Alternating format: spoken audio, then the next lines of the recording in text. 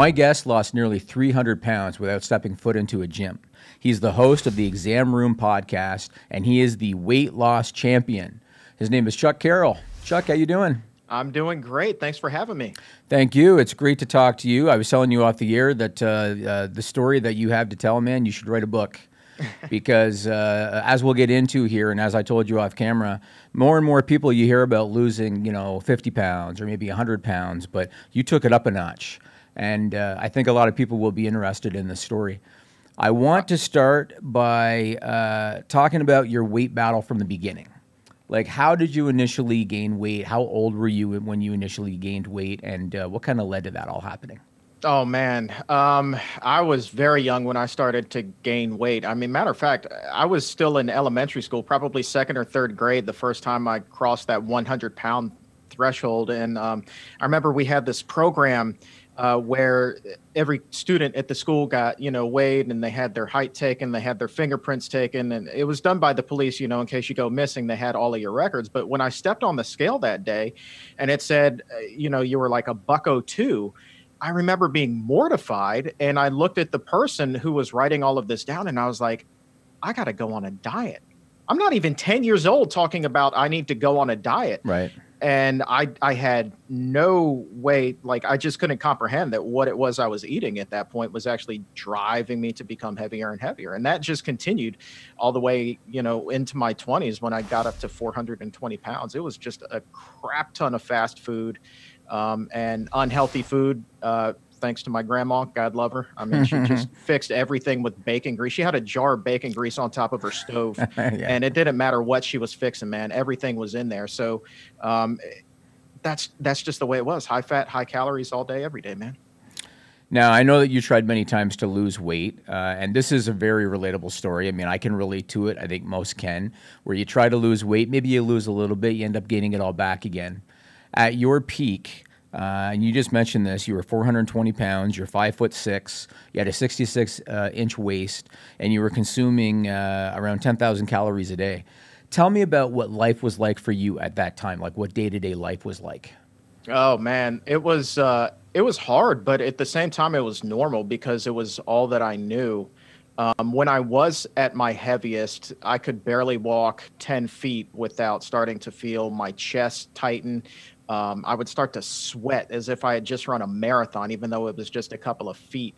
And um, that was the scary part to me. That was the wake up call. But before that, I mean, it was, I almost felt like I had to be that big guy because I was working in radio and I was working at the radio station Big 100.3 here in Washington, D.C. Swear to God, it was WBIG. so it was like so fitting. Yeah. And so I felt like I needed to be Big Chuck in order to advance my career. So that's kind of what I, I used, or at least I told myself. Um, was okay then to go ahead and keep going through the drive through multiple times a day or eating two and three pizzas at a clip, you know, and getting up to that 10,000 calorie threshold. I, I still didn't realize at this point that I was like straight up addicted to food, like it was cocaine or something. But um, it, it, was rough, man, and um, not a lot of confidence when it came to the ladies either. And so yeah. that, that was rough, man, being being in your 20s and and like not dating yeah, yeah, I can I can relate to most of that stuff. For me, it was mostly my teens because by my twenties is when I started to get under control. But I can totally relate to everything you're talking about. Uh, for you, it was September first, two thousand nine. You were 27 years old, and you made what must have been a pretty tough decision. You decided to undergo gastric bypass surgery. Tell me what led to you making that decision it was it was a combination of things. Like everybody thinks that it's just one event you know that proverbial straw that broke the camel's back. Uh, no. Um, so for me it was three things. One it was like i was talking about being really scared for my health knowing that i could only walk a few steps um, because my grandfather had died of uh, a series of heart attacks before I was even born. By that point, my father was already having heart issues, and I knew as I, I'm way heavier than either one of them ever were. So I'm really headed down that path and getting there rapidly. So not believing that you're going to live to see 30 years old is a hell of a motivator. And then there was just at that point kind of the embarrassment that if I didn't change my ways because I was putting on weight so quickly, I wouldn't be able to find pants that fit.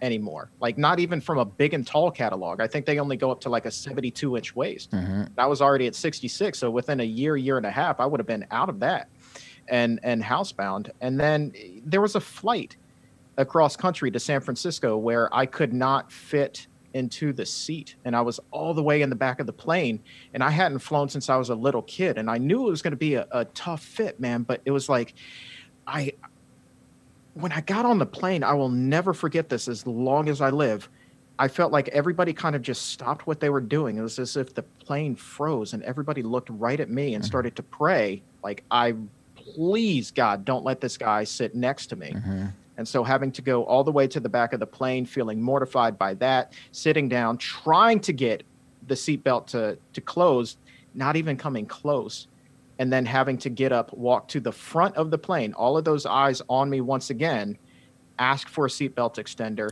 Uh-huh. and then tail between my legs, back to the uh, back of the plane, sit down, so that we could take off. Man, that was rough. And then I did actually at one point date a girl who begged me every day not to tell anybody that we were dating. Not our friends. We had mutual friends. Uh, she didn't tell her friends. She didn't tell her family. She asked me not to tell my family.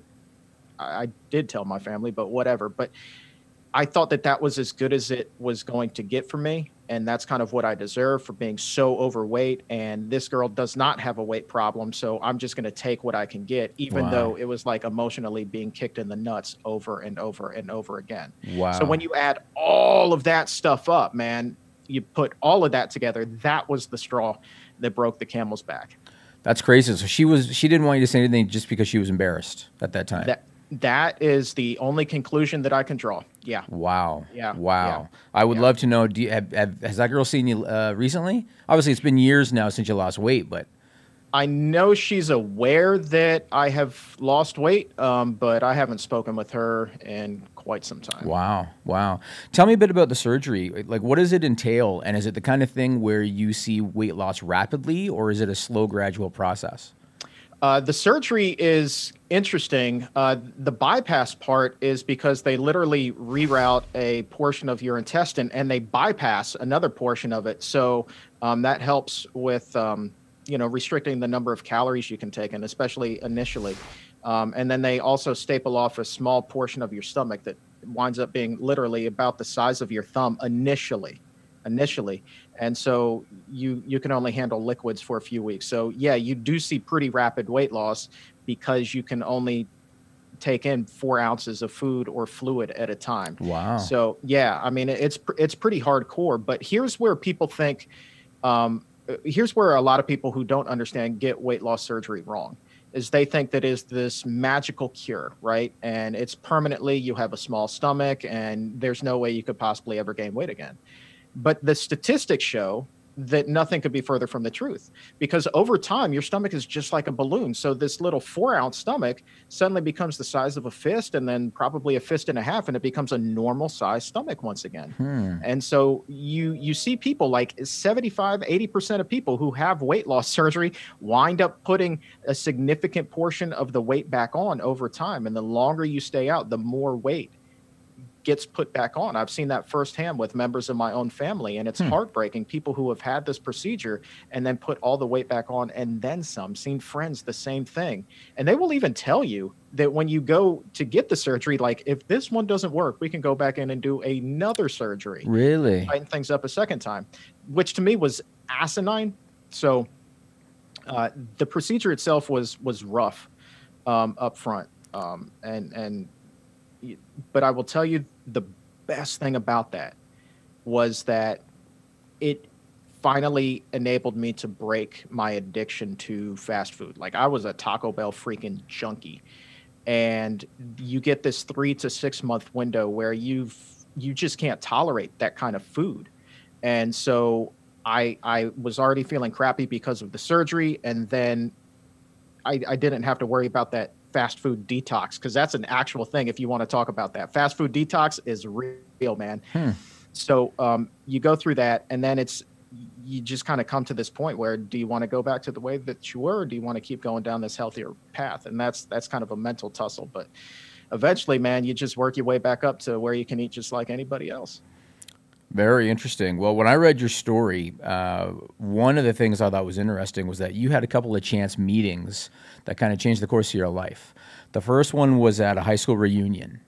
Uh, you reconnected with a girl from high school, and she uh, changed your life in terms of helping you eat clean. Tell me about that. Yeah, and this was a girl who I actually had a huge crush on back in high school. She was one of the it girls, you know, and um, the fact that she had been following my progress on Facebook and I had no idea. Okay. So when I when I go to the 10 year reunion and I hear my name from across the room, Chuck, and um, it, it turned out to be her. And so we just started talking, and she's like, Oh man, I'm so proud of you. You know, I'm doing health coaching now. Nutrition is my jam.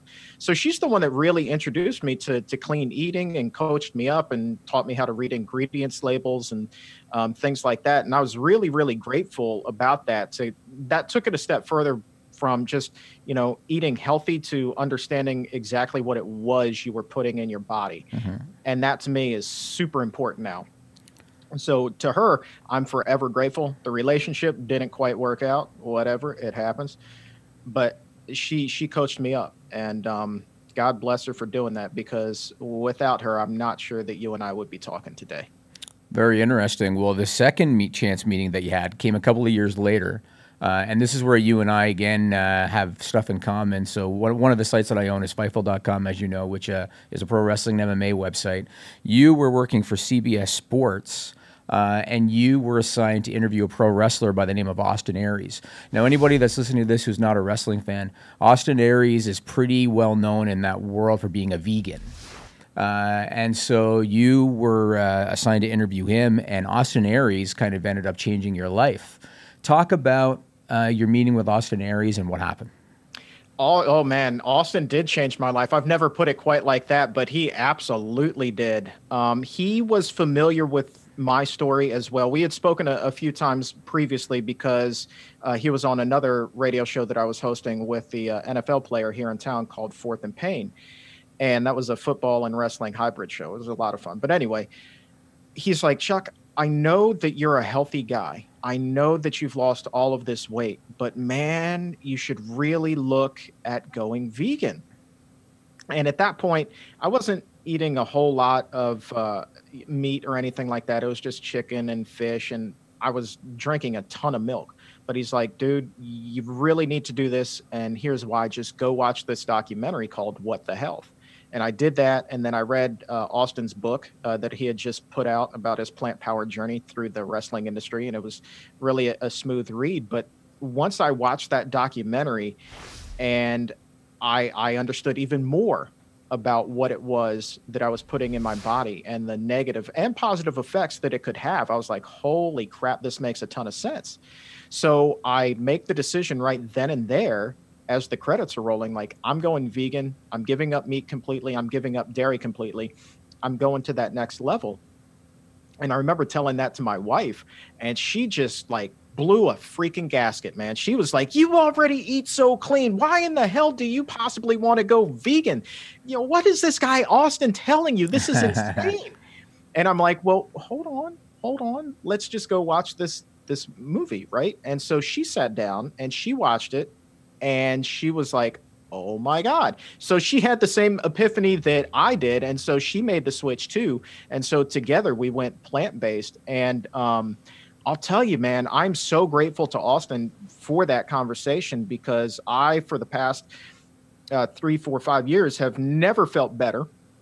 And it was funny, like I thought that I had finished with all of my weight loss. At that point, I was like right around 155, 160, mm-hmm. but I was still carrying around a lot of what I found out was just like extra fat on me still. And so when I adopted the plant based diet, I lost another 15 to 20 pounds and just my health went through the freaking roof, man. It was just phenomenal. Wow. So you ended up going from about 420 to 140 pounds. Yeah. Right. Yeah, so almost, yeah, 280. But that's, that's, that's incredible. That's incredible.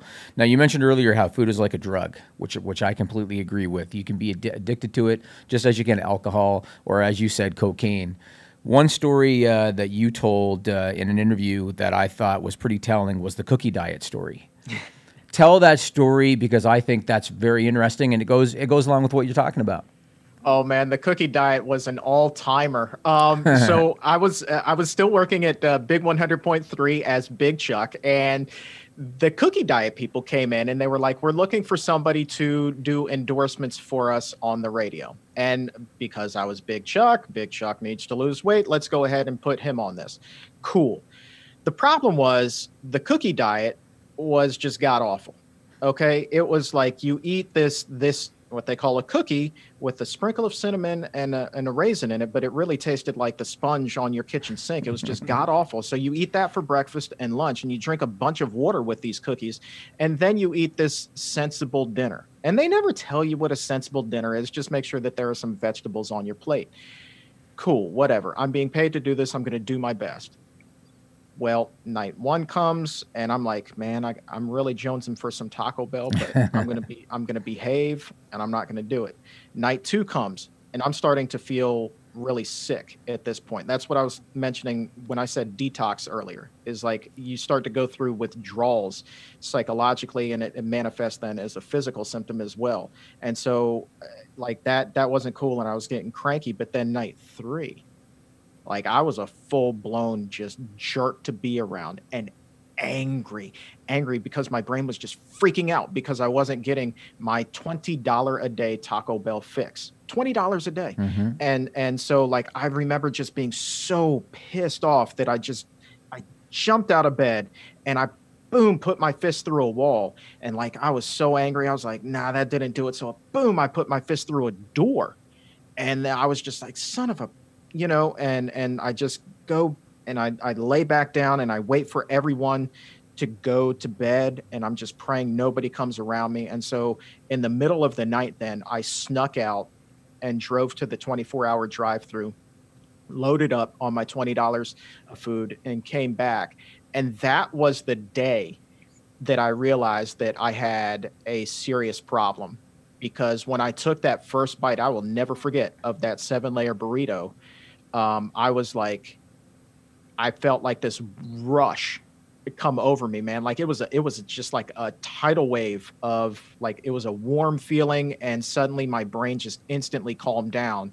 And so I sat there pondering that, honestly getting emotional about it as I ate every single morsel of that twenty dollars worth of Taco Bell, and I was like, "Damn, I'm in a bad way." Mm-hmm, mm-hmm. But I I kept doing that every single night but I would also spend like two and a half, three hours a day in the gym to make sure that that weight came off. So the cookie diet people were still getting what it was that they needed to see as far as results. Wow. And how did that end up? Like, what was the end of the, the cookie diet story? Like, how did that finish up? Uh, uh, eventually we just kind of parted ways uh, when when their endorsement uh, or their their buy ended. Um, so did the endorsement. So um, as soon as I, I stopped eating those cookies for breakfast and lunch, uh, you know that that weight came pouring on. I will yeah. say because of all the time that I was putting in the, at the gym, like I had lost sixty or seventy pounds, so it's not like they could argue with the results that they thought were coming from the cookie diet. Um, but you take the, you stop paying me and I don't have to eat these cookies anymore. Well, guess what? I'm going to stop going to the gym too. Mm-hmm. And then it was like fast food for lunch, fast food for dinner. And it was just boom, all that weight came pouring back on. And that was actually the last diet I did um, before I had the weight loss surgery. That's what catapulted me all the way up to 400. Really? Really? Yeah.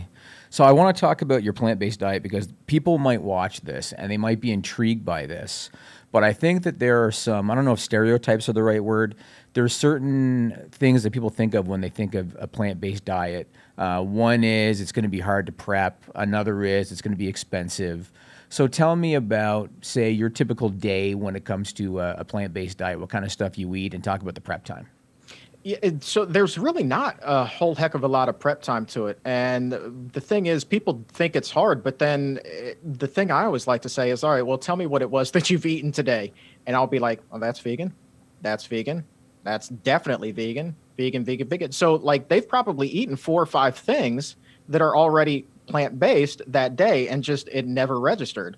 So, once you kind of make that connection, it's like people are already like, ah, that anxiety comes down. Um, and so that's that's very helpful to know that it's not this huge dramatic shift that everybody believes that it is. Hmm. Um, but as far as me, like I love oatmeal and fruit in the morning. Um, I will load up a big old bowl of just like straight oatmeal, um, and then put some cold fruit in there, frozen fruit, so it like cools it down, mm-hmm. and so mm-hmm. it's just like ready to eat straight away. Um, and that's pretty cool, right? Um, so that's typically bananas, uh, strawberries, blueberries in there.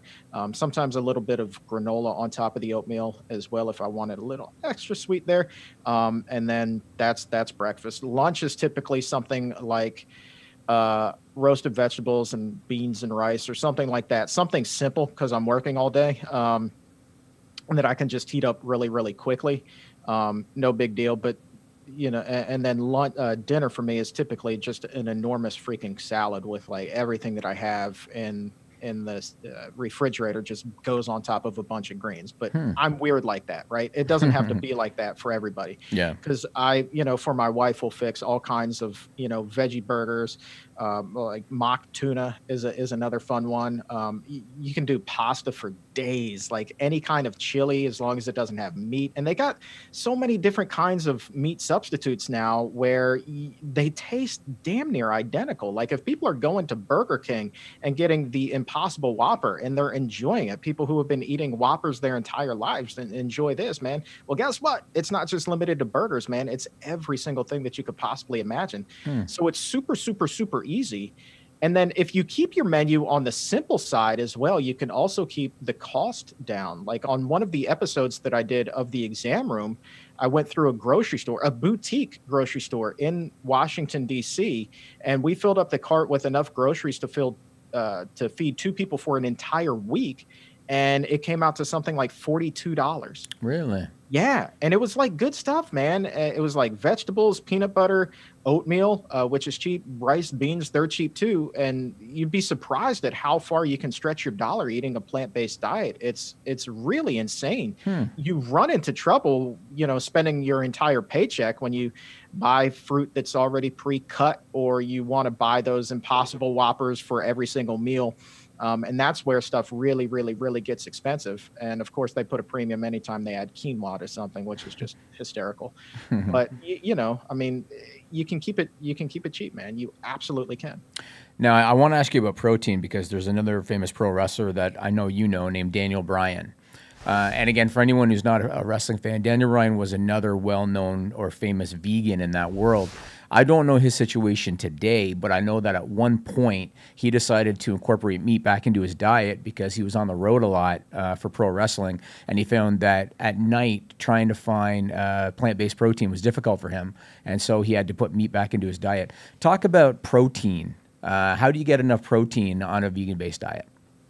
That is the number one question for vegans. Um, it it, it's really easy. All right. So um, people think you can only get meat for, uh, or protein from meat and dairy, and that's not true. Um, literally, everything that you eat has some level of protein in it.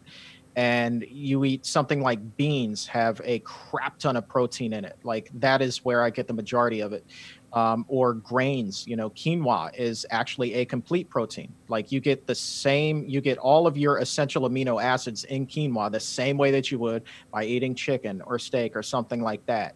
And so I get it, the opportunity, man, to talk to doctors all day, every day as part of my job. And they practice medicine and they practice it on people who are vegan and a lot of people who aren't. The majority of their patients aren't. But with their vegan patients, they have never, ever, ever seen a protein deficient person. And none of them are taking protein supplements. It's mm-hmm. not like they're eating protein shakes mm-hmm. uh, in the morning or anything like that. They're just eating a regular diet. Nuts have a ton of protein in it. You know, beans, rice, greens have protein in them. It's it, it the protein is just everywhere. And so, you know, once you realize that, it, the protein question kind of goes out the window. Very interesting. Now, I understand that you're also affiliated with the PCRM, the Physicians Committee for Responsible Medicine. And I read something about how you even did a speech on Capitol Hill. Tell me about them. What, who are they and what do they do?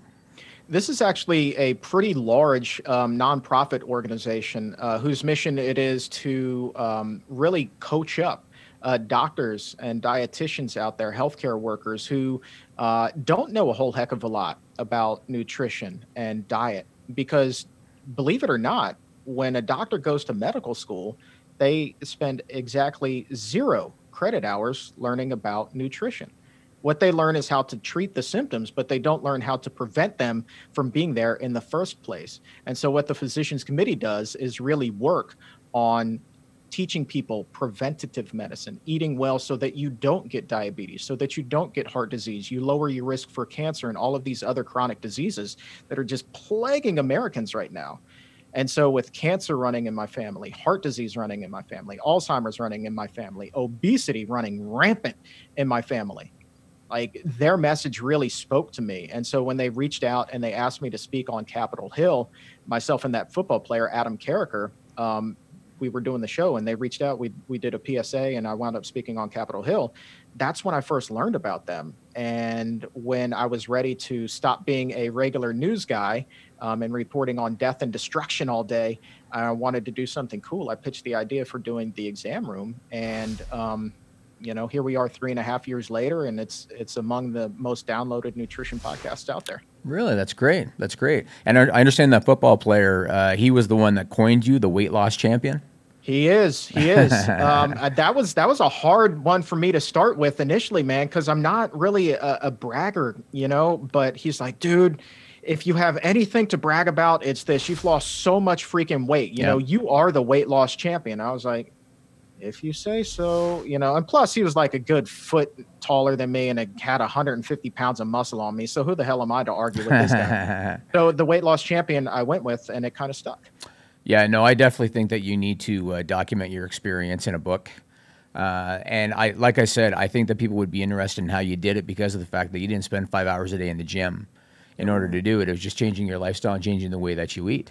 You know? Yeah, man. Uh, I was anti gym um, because I associated a gym with every failed diet that I had ever had, just like the cookie diet. Mm-hmm. And so um, I, I just started by walking, man. And it was just across the street and then I built up to where I could walk around the block and then two blocks.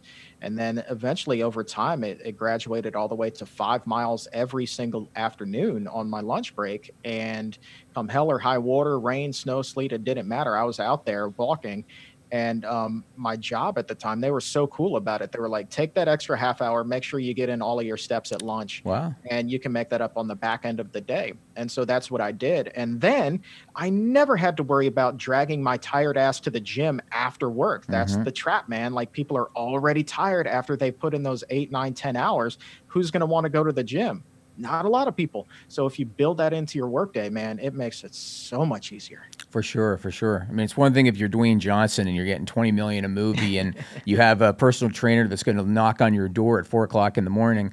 If you're a regular person, I agree with you. After you put in a full day of work, you don't want to go to the gym after that. Nah, you know? man, it's it's time for rest at that point. Definitely time for rest. Well, for more information on Chuck's story as well as weight loss tips, you can check out the weightLossChampion.com. Uh, you can also find his podcast there. It's called The Exam Room by the Physicians Committee. And again, I've been talking to the weight loss champion, Chuck Carroll. Great talking to you, man. You got a great story. Thank you, my friend. All right. Thank you. Take care.